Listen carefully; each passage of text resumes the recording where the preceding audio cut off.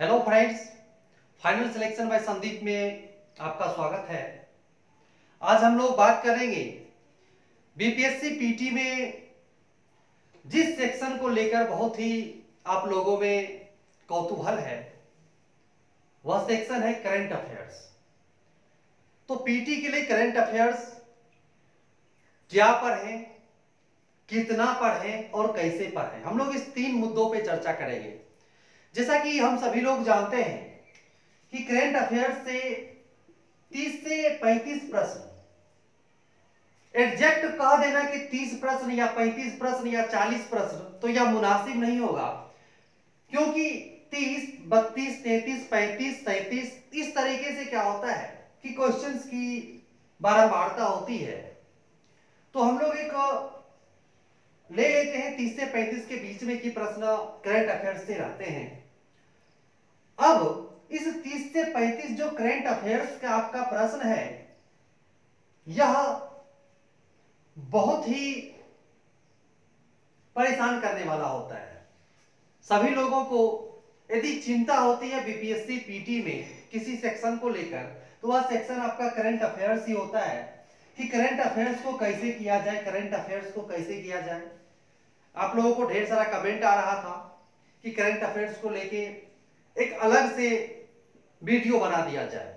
हालाँकि इससे पहले जो मेरा वीडियो था, आप लोगों ने देखा, लाखों लोगों ने उसको देखा तो वह था कि ओवरऑल बीपीएससी में किस प्रकार से 100 प्लस मार्क्स का जो आंकड़ा है वह लाया जाए।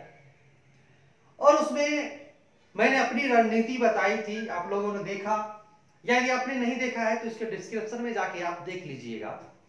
तो बात आज जो लेक्चर में होगी, सिर्फ़ और सिर्फ़ करंट अफेयर्स की होगी। और इस करंट अफेयर्स के सेक्शन से जो 30 से 35 प्रश्न पूछे जाते हैं, इस 30 से 35 प्रश्नों में से आपका 25 से 30 प्रश्न कैसे सही होगा, इस पे हम लोग चर्चा करेंगे। कि क्या पढ़ें कि 20 से 25 25 से 30 प्रश्न जो है आपका सही हो जाए। तो इसके लिए बहुत ही आसान सा तरीका है। अब आसान सा कहने का अर्थ कतई यह नहीं होता है कि आप करंट अफेयर्स पर ध्यान ना दें। करंट अफेयर्स पर आप थोड़ा थोड़ा ध्यान देकर भी अभी आपके पास कुल मिलाकर यदि देखा जाए तो 50-60 दिन अभी भी हैं और इस 50-60 दिन में भी आप ज़ीरो से शुरू करके 30 तक पहुँच सकते हैं। करंट अफेयर्स में यदि आप ज़ीरो से भी शुरू करें, आज से भी शुरू यदि करेंगे आप तो आप एक अच्छे मार्क्स को हासिल कर लेंगे करंट अफेयर्स में। और यदि करंट अफेयर्स में आपका 25 से 30 सही हो जाता है तो रिज़ल्ट आपका आसानी से हो जाएगा, कोई काट नहीं सकता है। 100 परसेंट रिज़ल्ट होगा। इसकी तो गारंटी भी दी जा सकती है, यदि आपने इस तरीके से सही कर लिया। तो इसके लिए करना क्या होगा? तो इसके लिए आपको कुछ बुक का अध्ययन करना होगा। उसमें से पहली जो बुक है, वह है आपका एसपीडी का। किसका है? एसपीडी की बुक है। वार्षिकांक करके आती है। तो एसपीडी का वार्षिकांक आप ले लें। मेरे बगल में यह पिक्चर आपको दिख रहा होगा। एसपीडी के वार्षिकांक का है। तो आप यह बुक ले लें। पहला तो यह ले लेना है। दूसरा जो बुक है, वह दूसरा बुक है आपका पीडी प्रतियोगिता दर्पण। प्रतियोगिता दर्पण में दो तरह की बुक है। एक है आपका कि मंथली प्रत्येक माह में मैगजीन जो आती है, यदि आप प्रत्येक माह खरीद रहे हैं तो अच्छी बात है। और हम आशा करते हैं कि जितने भी लोग इस तैयारी में कम से कम एक मैगजीन जो मंथली आती है आपके पास तो होगी ही, चाहे वह पीडी हो या कुरुक्षेत्रा हो या दृष्टि का हो, किसका हो? दृष्टि का हो। तो कोई ना कोई मैगजीन आपके पास होगी। तो आप उस मैगजीन से ही आपका काम हो जाएगा। ऐसा नहीं कि प्रतियोगिता दर्पण ही चाहिए, या कुरुक्षेत्र ही होना चाहिए, या दृष्टि का ही होना चाहिए, ऐसी कोई बाध्यता नहीं है। कोई भी एक मंथली मैगजीन जो आप पढ़ते आ रहे होंगे, वो काफ़ी है, आप उसे ही रखें। और हाँ यदि आप मंथली मैगजीन नहीं ले रहे हैं, या नहीं ले रहे थे तो आप क्या करें कि प्रतियोगिता दर्पण की भी वार्षिकांक करके बुक आती है यदि मार्केट में आ गई हो तो आप क्या करें? इसका वार्षिकांक ले लें, प्रतियोगिता दर्पण का वार्षिकांक ले लें तो यहाँ से आपका काम हो जाएगा। यह तो हो गई बुक की बातें, दो बुक आपको लेना है। अब इसमें पढ़ना किस प्रकार से है तो आप इसको बांट के पढ़ें। देखिए, कुछ जो मुद्दे होते हैं, वे राष्ट्रीय मुद्दे होते हैं। क्या होते हैं? राष्ट्रीय मुद्दे होते हैं। तो आप देखेंगे कि बांट के दिया हुआ रहता है कि राष्ट्रीय मुद्दा है। उसके बाद कुछ अंतरराष्ट्रीय मुद्दे होते हैं। ठीक है, कुछ जो है आपका इंटरनेशनल मुद्दे होते हैं, ठीक है। तो राष्ट्रीय हो गया नेशनल हो गया इंटरनेशनल हो गया। कुछ खेल कूद से संबंधित होता है आपका स्पोर्ट्स से संबंधित होता है तो आप उसको कर लेंगे। कुछ फ़िल्म जगत से होते हैं। आप जब एसपीडी का पढ़ेंगे ना तो एसपीडी के शुरुआत में एसपीडी को आप तीन भागों में बांट देंगे। पहला भाग जो होता है, उसमें आपको इस तरीके से सब दिया हुआ रहेगा। नीति आयोग के बारे में, सूचकांक के बारे में, कुछ नए नए जो पोर्टल होते हैं, उसके बारे में, कुछ मोबाइल ऐप। अभी तो कोविड नाइन्टीन, कोरोना वायरस के बाद जो है, जब से कोरोना वायरस विश्व में आया, तब से विश्व के सभी देशों में अनेक प्रकार के ऐप का विकास हुआ। अनेक प्रकार के योजनाओं को चलाया गया। तो विश्व के संदर्भ में हम लोगों को नहीं जाना है। हम लोगों को देश और अपने राज्य के संदर्भ में रहना है। तो वहाँ से आपका क्या हो जाएगा? ये सारा कवर हो जाएगा। तो पहला जो यह सेक्शन है, वहाँ से आपका यह कवर हो गया। दूसरा सेक्शन जो होता है स्पीडी का, वह होता है आपका डेट वाइज दिया रहता है कि एक तारीख को क्या हुआ, दो तारीख को क्या हुआ, तीन तारीख को क्या हुआ तो आप वहाँ से कर लेंगे। और उसके बाद जब आप एक और दो, दोनों को कंप्लीट कर लेंगे, तब तीसरा सेक्शन होता है कि इसके लास्ट में एसपीडी के लास्ट में लगभग 500-600 क्वेश्चंस दिए हुए रहते हैं। तो आप क्या करेंगे, वो सेट के तरह का होता है वस्तुनिष्ठ ऑब्जेक्टिव प्रश्न होते हैं ऑब्जेक्टिव क्वेश्चंस होते हैं। तब आप क्या करें, उस ऑब्जेक्टिव क्वेश्चंस को बना लें। तीन स्टेप में स्टेप वन आपका क्या होगा, जितने भी पहले वाले दिए हुए हैं, कि कैबिनेट मंत्री कौन है, सूचकांक में कौन सा स्थान है, नीति आयोग के बारे में नोबेल पुरस्कार जो मिला उसके बारे में, खेल जगत के बारे में फ्रेंच ओपन विम्बलडन ठीक है ऑस्ट्रेलियन अमेरिकन यूएसए ओपन जो भी होता है, ठीक है, ये सब जो होता है वहाँ से कवर कर ले, दूसरा डेट वाइज कर ले, फिर सेट उसका बना ले। तीन जब आप कर लेते हैं एसपीडी का, तीन चरण में आपका एसपीडी क्या हो जाएगा? समाप्त हो जाएगा। एसपीडी को समाप्त कर लें। उस पर जब आप पीडी में आएँगे प्रतियोगिता दर्पण में आए या कुरुक्षेत्र या दृष्टि में आए तो यहाँ पे आपको क्या देखने को मिलता है? यदि आप मंथली पढ़ रहे होंगे तो आपको पता होगा। नहीं तो इसका जो वार्षिकांक का आता है, आप देख लेंगे, मार्केट में पता कर लेंगे या ऑनलाइन भी देख लेंगे। यदि आ गया होगा, तब आप क्या करेंगे कि उसका वार्षिकांक वाला ले लेंगे। एक साल का पूरा वह संग्रह रहता है, कलेक्शन रहता है। तो वहाँ से आपका क्या हो जाएगा, राष्ट्रीय, अंतरराष्ट्रीय, खेल जगत के, फ़िल्म जगत के, जितने भी हैं, वो सारे करंट अफेयर्स आपके कवर हो जाएँगे।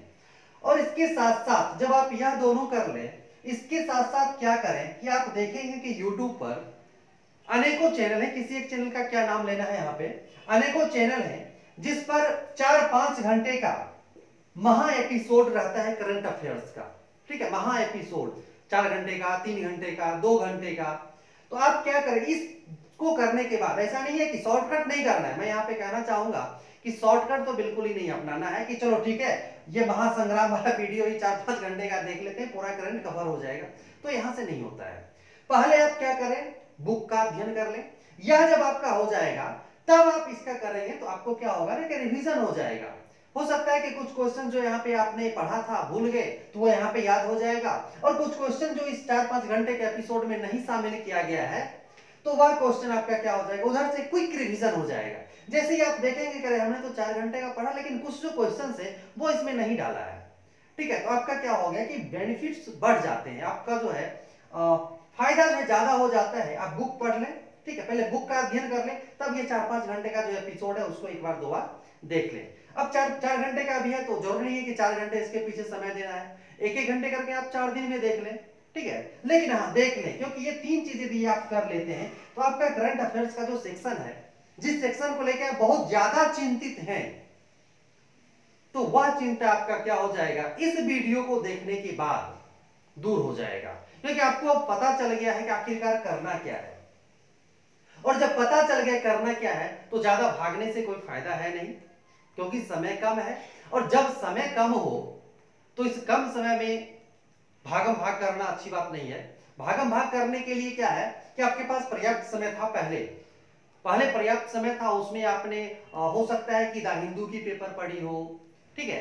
तो जो लोग पढ़ रहे होंगे कंटिन्यूस तो उनके लिए तो सही है, वो लगातार पढ़ते आ रहे हैं तो उनके लिए कोई बात नहीं है। लेकिन आज से यदि आप हिंदू पढ़ना शुरू कर दें तो अगले चार महीने तक तो आपको उसके वर्ड को समझने में लग जाएगा, आखिरकार उसका एग्जैक्ट मीनिंग क्या है, ठीक है? तो जो भी पेपर पढ़ने की है, वो तो पढ़ना चाहिए, वो तब होता है जब आपके पास पर्याप्त समय हो। अब आपके पास में समय बहुत ही कम है। तो इस कम समय में क्या करें? ये सारे जो बुक है, अब आता है एक प्रश्न और यहाँ पे स्टूडेंट्स का हो जाता है। आप लोगों के कमेंट में मैंने देखा कि आप लोग पूछ रहे थे कि ठीक है करंट अफेयर्स तो पढ़ना चाहिए, लेकिन कब से पढ़ना चाहिए? तो करंट अफेयर्स कब से पढ़ना चाहिए? तो करंट अफेयर्स आप पढ़ लें। जनवरी 2020 से लेकर, बस आगे आप समझ ही गए होंगे कहाँ तक पढ़ना है। अपने एग्ज़ाम तक पढ़ यानी जनवरी 2020 से शुरू करें और बस पढ़ते चले जाएँ, जहाँ तक हो पाए आप पढ़ लेंगे। ठीक है? शुरुआत लेकिन जनवरी 2020 से करना है, इससे पीछे नहीं जाना है। अब दो चार प्रश्न पूछ दिए जाते हैं 2019 से भी तो वह रेंडमली होता है, वो सभी लोग समानता बना ही लेते हैं। ठीक है? वैसे ही चर्चित मुद्दों को पूछा जाता है, जो कि सभी लोगों को संभवतः पता होता है। तो दो चार प्रश्नों के लिए अब 2019 से पढ़ना शुरू कर दिया जाए तो ये बेवकूफ़ी हो जाएगा। इसको बहादुरी नहीं कहा जाता है। देखिए, बहादुरी और बेवकूफ़ी में थोड़ा सा अंतर होता है। यदि आप सही तरीके से चले तो बहादुरी हो गया। और ज़्यादा होशियार बनने की कोशिश किए, करेंगे तो बेवकूफ़ी हो जाएगा। तो 2019 से नहीं करना है 2020 जनवरी 2020 से करें। और जनवरी 2020 से आप एसपीडी कर लें प्रचोदर्पण कुरुक्षेत्र, दृष्टि जो भी आपके पास अवेलेबल हो पाए, उसको कर लें। और हाँ यहाँ पे मैं कहना चाहूँगा कि सारे बुक ऑनलाइन उपलब्ध हैं पीडीएफ के फॉर्म में भी उपलब्ध है फ्री में भी आपको हो जाएगा। ज़रूरी नहीं है कि इन सब बुक को आप बारी बारी से खरीदने के पीछे कुछ लोग होते हैं जो कहते हैं कि, सर, अब दो महीने तो पढ़ना ही है तो क्या दो महीने के लिए इन सब बुक को खरीदना क्या उचित रहेगा? तो मैं कहना चाहूँगा, उचित तो है ही कि आप खरीद ले।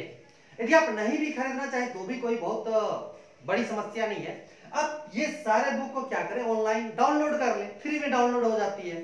ठीक है तो आप डाउनलोड करके पढ़ सकते हैं, इन सबको पढ़ लें फ्री में पढ़ लेंगे। और इसे तीस चालीस रुपए की बुक एसपीडी की आती है, और सौ दो सौ की पीडी की आती है, और ये चार पाँच घंटे का जो वहाँ एपिसोड होता है यूट्यूब पे, ये तो फ्री में होता है, इसके लिए तो पैसे की आवश्यकता नहीं होती है। तो मिला जुला के करंट अफेयर्स आप क्या कर सकते हैं कि आसानी से चालीस पचास साठ जो भी दिन है आपके पास इन दिनों का यदि आप उपयोग कर लें तो आपका करंट अफेयर्स बहुत ही अच्छा हो जाएगा और आपका रिज़ल्ट सुनिश्चित हो जाएगा। तो मिलते हैं बहुत ही जल्द, तब तक के लिए जय हिंद, जय भारत।